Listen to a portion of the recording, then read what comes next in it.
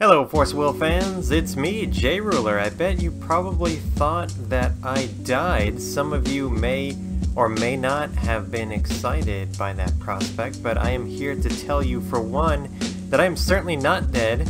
Two, I am here to continue the most valuable Force of Will cards series, thanks to TCG Scrubs. Thank you very much, guys, for allowing me to do this.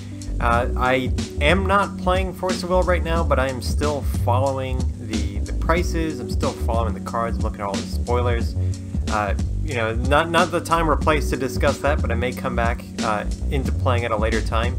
But I wanted to continue this series. TCG Scrubs asked me to continue this series. You guys seem to have liked it, so we will continue with March 2018. We're going to be looking at the top 10 most valuable Force of Will cards. And I must say that I am pretty excited on this one. I was, pleasantly surprised on some of the values of these, and uh, thankfully I have a, I, and many of these, I have multiple copies of these cards on this top 10 list.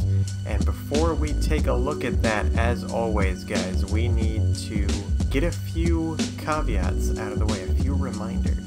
So while you're watching this video, or any of the past or future top 10 videos for prices I'm going to be doing, uh, these are always going to be the case. First up, all prices assessed are on March 1st, 2018 in this video, so if you are watching at different times on different days, the prices may be different. Two, all prices are quoted in US dollars, the good old greenback. Three, all prices reflect the TCGplayer.com market price on the date of assessment. So I guarantee you right now, if you look these cards up, you will find different prices from different sellers at different times. We were talking about the market price. It is a trailing average, which gives us a better picture, especially month to month as we look over the continuation of this series, exactly where the price movements are. And for all prices, reflect the lowest rarity for a given card. So there's one exception on this list to that, but it is typically the non-foil, non-full art version of the card in the original set in which it was released. So let's go ahead guys and dive in starting with number 10 and we will count our way down to number 1. Up first we have Cheshire Cat the Grinning Remnant at $8.46. Boy do I remember when I first started playing Force Will when this was in New Frontiers and Cheshire Cats were bouncing around between uh, about $20-$24 a pop and I bought them when they finally reached maybe $15, $16, I bought a playset, which is a, a, lot to start getting into the game, but back then it was definitely worth it. Uh, the, the value of this has dropped lower, like 4 or $5 in the previous few months, and it's creeping back up, um, most likely due to the fact that Wanderer events are actually being uh, done now at GPs, so the more support that Wanderer gets, certainly the more valuable this card will get. I it will probably never go back up to twenty dollars or more, or probably even twelve dollars or more would be my prediction. It's still solid, still obviously good, but there are better first turn plays. Like back when this came out, you know, this was all the rage at New Frontiers.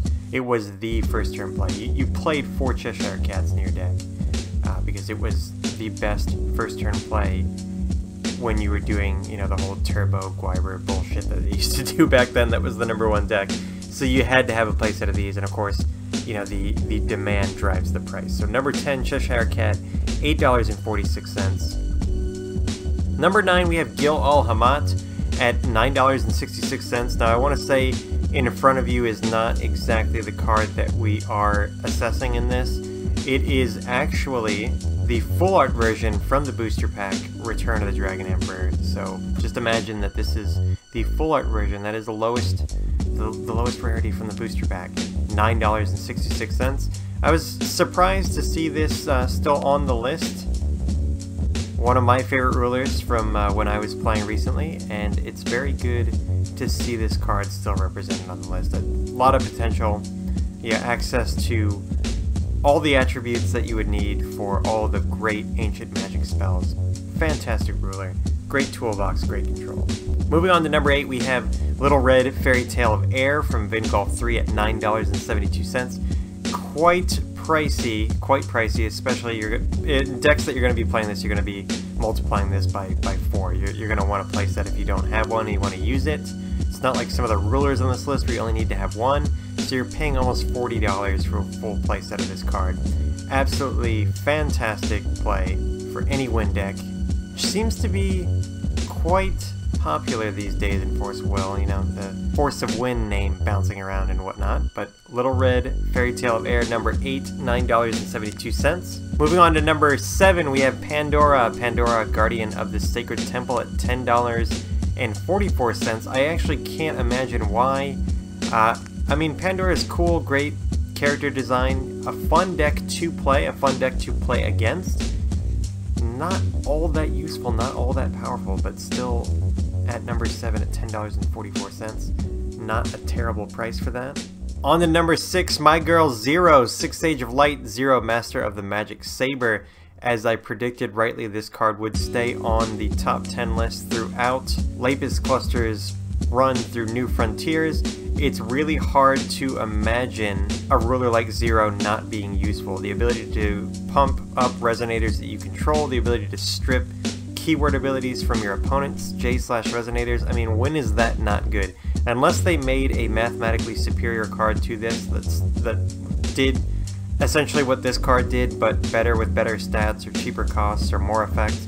Unless they made a mathematically superior card, it's hard to see how this Zero Ruler could not be useful in any format. Like, whether or not it's being played right now, it's always playing like in in the passenger seat like it's always ready to jump in and be the counter meta deck at any given time. One of my all-time favorite rulers absolutely awesome. $13.12 number six. On the number five we have Freyla. Freyla the revolutionist at $16.73 that's a pretty decent price for this card.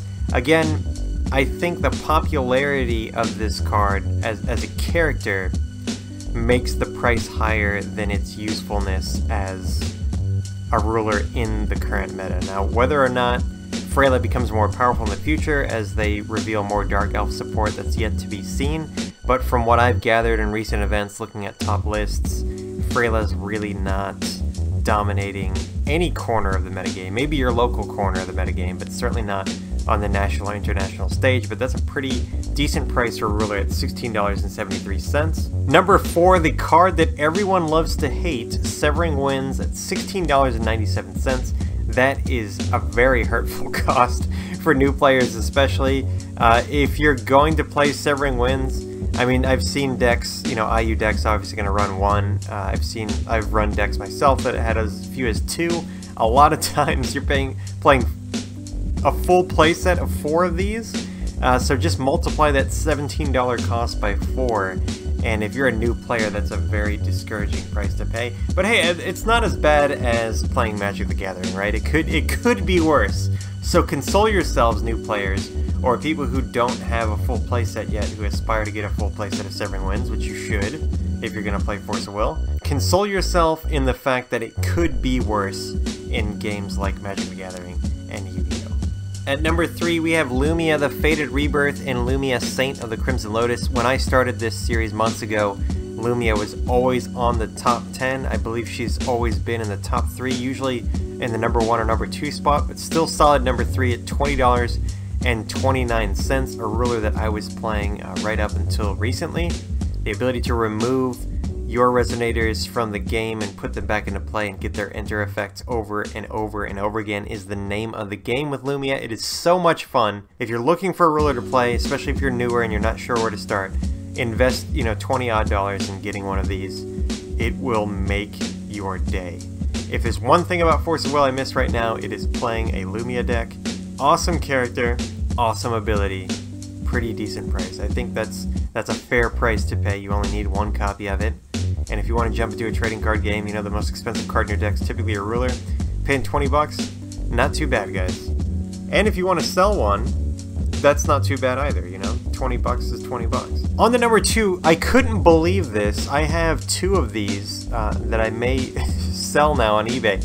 Welser the Archmage, Welser King of Demons, $37.76. The current going rate is actually higher than 37.76 right now on tcgplayer.com, but again, this is the market average. I cannot believe it's like over $40 in current prices for Welser the Archmage. I haven't seen any like really good convincing Welser decks, but apparently uh, there must be a, problem with like the, the distribution of this card, uh, or it, it's just one of those characters that's really popular and people want it, you know, to have the card and not necessarily for its uh, play value as of current. Or maybe, you know, this is a sign that this card is being bought out because there's, you know, realized future potential going forward. Either way, if you've got one, consider yourself lucky. If you don't have one, tread carefully in purchasing this card because you know, TC the TCG market is very, very fickle. It could change overnight. A card like this could get banned. It could get er errata. Someone could realize a new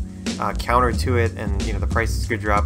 Or they could go the other way if you know new strategies are realized or or new errata that buff it, make it more powerful. It's just it's so it's like the stock market. It, just goes everywhere. So be careful. And last up, our number one card for March 2018 this one really surprised me.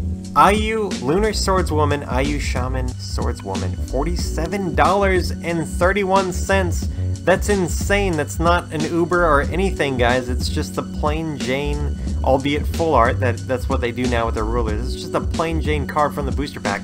This is the the one ruler I really wanted to get when I bought, uh, when I split a case of Advent of the Demon King with, with your boy Sacred Beats, and I was very lucky to get it, and I'm glad that I do. If I do decide to jump back into the game, I'm playing IU, guys. At first, I shat all over it on our podcast, and then I decided, you know, there's actually some merit to this, and I started tinkering around before. I, I, was in before it was cool, guys. I was the hipster when it came to IU, and I realized the error of my ways. And it's such a fun deck to play, and it's it's good to see IU be vindicated as as just an amazing. It's, it's the ultimate toolbox deck because you can only have one copy of each card in your deck, and it's just so fun to play. And there's so many variations. I'm I'm actually really glad to see that this card is so far up there in terms of price, and that it's at the top of the list. I absolutely love IU. If you have one, just like with Welser, you know, get on your knees right now and thank the TCG gods for favoring you so.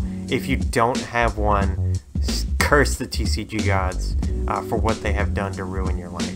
And that concludes our top 10 list for March 2018. I will be back in April to do the same treatment, and then we will also track the movements in the market over that time. Before I wrap this video up, guys, I want to thank TCG Scrubs for allowing me to get onto their YouTube channel and hopefully not fuck it up too bad. And I also want to quickly plug my own game, Darkest Days, World War II card game, which is about to release its newest set on March 16th, 2018 called Against the Tide. And you can check out all the details on darkestdayscg.com. We'll put a link to the website and also to the Darkest Days YouTube channel so you can learn more about it in the video description. If you guys like TCGs, if you like free TCGs, if you like World War II, if you like fast strategy, if you like not having to pay out the ass for cards because it is on Lackey with regular sets released every other month and bonus sets in between. Please check out Darkest Days, guys. DarkestDaysCG.com. It's on Lackey CCG, which I know a lot of you play.